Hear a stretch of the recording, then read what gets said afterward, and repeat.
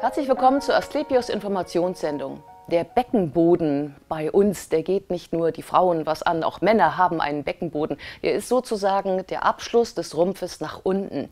Er besteht aus Muskeln mit einem Durchlass jeweils für den Darm und für die Blase und bei Frauen eben auch für die Scheide. Und rund um diesen Bereich des Beckenbodens können eine ganze Zahl von Krankheiten entstehen und über die reden wir jetzt. Bei mir ist Privatdozent Dr. Thilo Schwandner. Er ist Chefarzt der Klinik für Allgemein- und Viszeralchirurgie an der Asklepios Klinik Lich in Hessen. Schön, dass Sie da sind, Herr Dr. Schwandner. Ein herzliches Grüß Gott auch von mir. Ich freue mich sehr, dass ich heute hier bin. Ähm, mit welchen Beschwerden können die Menschen zu Ihnen kommen?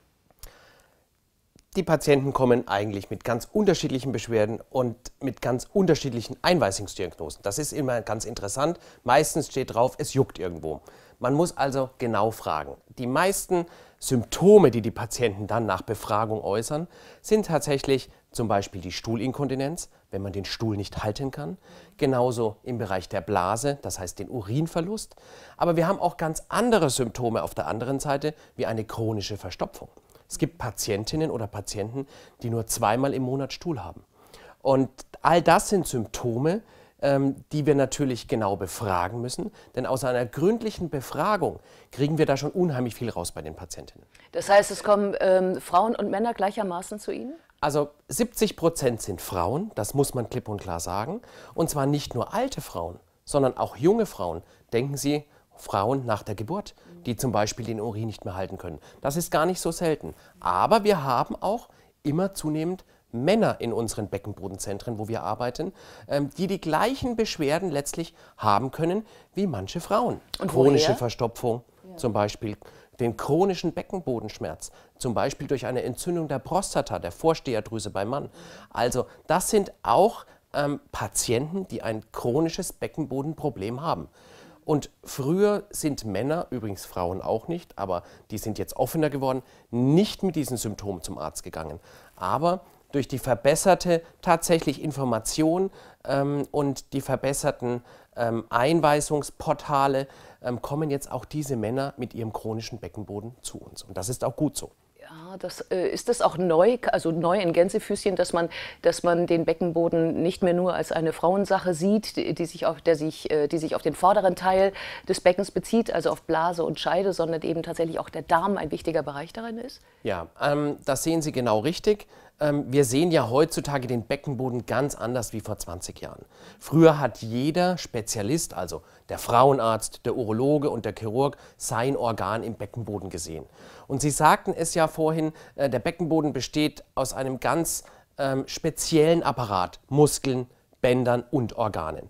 Und heutzutage sehen wir den Beckenboden als ganzheitlich.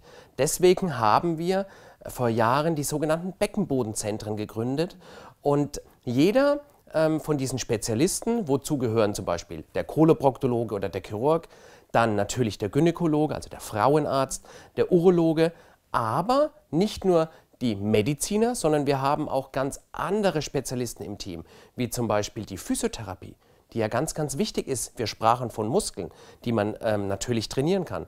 Wir haben auch Osteopathen, Ernährungsmediziner, also alles Spezialisten, ähm, wo wir versuchen, den Beckenboden interdisziplinär, das heißt ganzheitlich mit den verschiedenen Spezialdisziplinen zu behandeln und natürlich auch zu therapieren. Ohne jetzt äh, schon in die Einzelheiten zu gehen, heißt das dann, dass das nicht immer nur OP-Eingriffe sind, äh, um die es nachher geht, sondern eventuell auch etwas ähm, Physiotherapeutisches schon helfen kann? Also ich bin der Meinung, dass der Beckenboden zu 70 Prozent erstmal konservativ therapiert werden kann. Also ohne konservativ heißt ohne Operation. Wir müssen nicht immer alles operieren. Wir sprechen ja von Befunden, die chronisch sind, ähm, die tatsächlich häufig nach Geburt stattfinden. Ich habe es angesprochen, eine junge Frau nach der Geburt, die Urin verliert. Das brauchen Sie nicht operieren. Sie müssen da die Blase nicht heben. Da können Physiotherapeuten zunächst äh, therapieren, um letztlich den muskulären Beckenboden zu stabilisieren. Also nur 30 Prozent aller Beckenbodenproblematiken muss man operieren. Und das zeichnet, glaube ich, auch gute Zentren aus, die nicht alles gleich operieren wollen. Äh, ich habe gehört, auch Osteopathen spielen dabei eine Rolle. Ja, ähm, Osteopathen, vor allem bei uns, spielt das eine große Rolle, dieses Thema.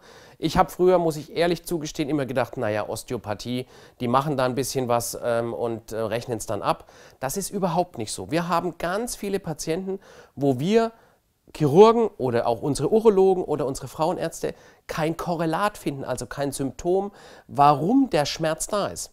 Dann werden die Patienten zum Teil osteopathisch behandelt und wir kriegen die Patienten tatsächlich schmerzfrei oder zumindest gebessert. Also da hat sich meine Meinung vollkommen geändert in den letzten zehn Jahren.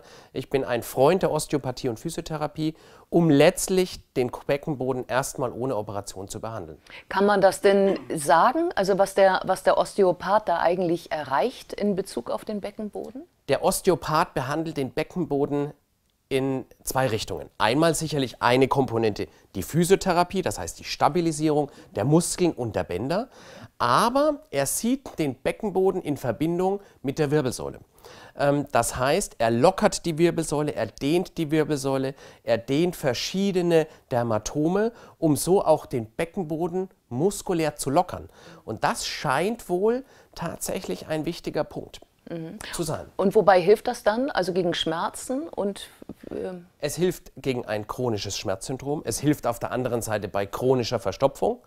Ähm, es hilft aber zum Teil auch äh, bei Patienten mit einer Entzündung der Prostata, also der Vorsteherdrüse, ähm, die für den Beckenboden ein enormes Problem ist, weil sich dadurch ein sogenannter chronischer Beckenbodenschmerz entwickelt und die Männer extreme Schmerzen und wirklich extreme Symptome haben.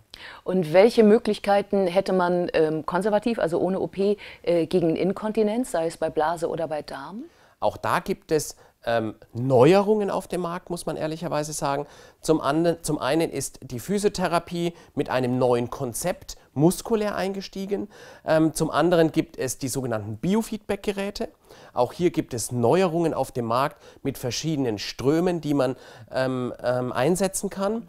Ähm, das haben wir auch in verschiedensten Studien untersucht. Als das sind konservative ähm, Mechanismen, wo wir den Patienten zu 60 bis 70 Prozent tatsächlich helfen und heilen. Was heißt denn Biofeedback eigentlich? Biofeedback ist eine Therapie, ähm, meistens eine Kombinationstherapie. Ähm, wir wollen dem Körper trainieren, Moment, du musst deinen Schließmuskel bewegen. Zum Beispiel, wenn ein Patient oder eine Patientin Stuhl verliert. Auf der anderen Seite wird das in Kombination eingesetzt mit einer lokalen Elektrostimulation. Und das ohne Schmerz für den Patienten. Das macht er zu Hause. Das ist also eine Sonde, die sich der Patient rektal einführt, also in den Anus. Wie ein das Zäpfchen? tut nicht weh, wie genau. ein Zäpfchen, ja, genau, ja, mit ja. ein bisschen Gel. Das wird dem Patient alles vorher gezeigt. Und dann kommt es zu einer Elektrostimulation und dadurch kommt es zu einer Verstärkung der Beckenbodenmuskulatur. Und das in Kombination mit Biofeedback. Mhm. Und wie erfolgsversprechend ist die Behandlung dann? Kann man das sagen? Es, man kann das sehr gut sagen. Wir haben in den letzten fünf Jahren drei große deutschlandweite Studien betrieben mit dieser neuen Methode und wir konnten 70 Prozent aller Patienten mit einer Stuhlinkontinenz, also mit einem Stuhlverlust, verbessern oder sogar heilen. Das ist vielversprechend. Gibt es denn da, ähm, ähm, also das ist ja nun eine, ich sag mal, auf eine niedrigschwellige Therapie im Grunde genommen, äh, die der Patient selber durchführen kann, auch zu Hause, ja. in regelmäßigen äh, Abständen und kann den Erfolg dann sehen. Ähm, äh, können Sie ähm, dem Darm oder dem Beckenboden noch anders auf die Sprünge helfen? Ja, also auch da hat sich natürlich viel getan auf dem Gebiet der Chirurgie, auf dem Gebiet der Koloproktologie. Wir haben heutzutage viel minimalinvasivere Operationsverfahren. Minimalinvasiv heißt also sehr gewebeschonend. Ähm, wir haben für die Patienten mit einer Stuhlinkontinenz oder wenn man Urin verliert oder die Kombination aus beiden, was ja nicht ähm, äh, selten zu sehen ist, die sogenannte sakrale Neurostimulation. Ja. Das muss man sich so vorstellen wie ein Herzschrittmachersystem. Man hat eine kleine Sonde, die den Nerv stimuliert und ähm, wie ein Herzschrittmacher wird quasi mit diesem Schrittmacher Strom erzeugt und dadurch der Nerv stimuliert. Das ist aber so sanft, dass das der Patient nach zwei Wochen gar nicht mehr merkt. Und dadurch kommt es tatsächlich zu einer Verbesserung dieser Problematik. Und wo sitzt der Schrittmacher dann? Der Schrittmacher sitzt eben hier am Rücken, ja, ja. oberhalb des Knochens, im Hautniveau. Der ist dünn, der ist kleiner als ein Herzschrittmacher und den kann man dort implantieren, sodass das kosmetisch schön ist, nicht Gewebe äh, traumatisierend, so wie wir das nennen. Also ein minimalinvasives Operationsverfahren mit sehr, sehr großem Erfolg. Und ähm, mit einer Batterie, die alle paar Jahre erneuert werden muss? So ähnlich muss man sich vorstellen. Das ist tatsächlich mit Batterie betrieben. Ja. Ähm, die Batterie ähm, hält aber sehr lange. Man spricht so von einer ähm, Batteriezeit von sieben bis acht Jahren und dann muss man quasi zum Arzt zum Batteriewechsel. so einfach kann das sein. Richtig. Ähm, gerade bei Frauen, bei denen sich der Beckenboden absenkt, warum auch immer, ähm, hört man immer davon, dass man ihnen etwas implantieren kann, was so etwas ist wie ein Netz. Was können Sie uns dazu sagen? Richtig. Ähm, wir haben natürlich, wenn die konservative Therapie ohne Operation nicht zum Ziel führt, ähm, auch neue Operationstechniken für den Beckenboden. Wir haben neue Netze, die wir in den Beckenboden implantieren können, um so den Beckenboden, zum Beispiel bei einer Senkung, wir hatten es vorhin auch bei jungen Frauen ja. nach Geburten, senkt sich der Beckenboden. Und wenn Sie das nicht in den Griff bekommen mit Physiotherapie, dann gibt es Operationsverfahren, wo wir Netze auch wieder mit der Kameramethode implantieren und den Beckenboden quasi nach oben heben, um so die normale Anatomie des Beckenbodens wieder versuchen herzustellen. Und woraus ist das Netz? Aus was für Material? Da gibt es ganz verschiedene Materialien. Es gibt mittlerweile Netze, die tatsächlich fast analog sind, also gleich sind ähm, der Darmschleimhaut, also fast menschliche Netze, wenn man so will. Es gibt künstliche Netze. Die Netz, das Netzverfahren spielt gar nicht so die Rolle. Wichtig ist, dass man das Netz so einbauen kann mit einer speziellen Technik, dass man den kompletten Beckenboden, also nicht nur die Gebärmutter zum Beispiel oder die Blase, sondern auch den Enddarm in einem nach oben strecken kann. Kann es da eine Komplikation geben wegen des Fremdmaterials? Es gibt Komplikationen, das muss man mit dem Patienten besprechen. Die Komplikationsrate ist aber sehr, sehr niedrig, dass sich so ein Netz zum Beispiel infiziert. Mhm. Ähm, es kann ja offensichtlich in Ihrem Sektor auch zu einer Darm-OP kommen, oder? Ähm, ja. Ich glaube dann, wenn der Darm ähm, sich vorwölbt, also wenn es zu solchen äh, schwierigen äh, Situationen kommt? Richtig, das haben wir auch ganz, ganz häufig, das Symptom. Auch nicht nur bei älteren Patienten oder Patientinnen, sondern auch bei jüngeren Patienten. Wir haben viele Patientinnen mit einer chronischen Verstopfung. Durch diese chronische Verstopfung müssen die Patienten sehr viel pressen. Jetzt kann man sich gut vorstellen, wenn man chronisch pressen muss, dass der Beckenboden und natürlich der Enddarm, der ja hinten liegt, sich nach außen vorwölbt.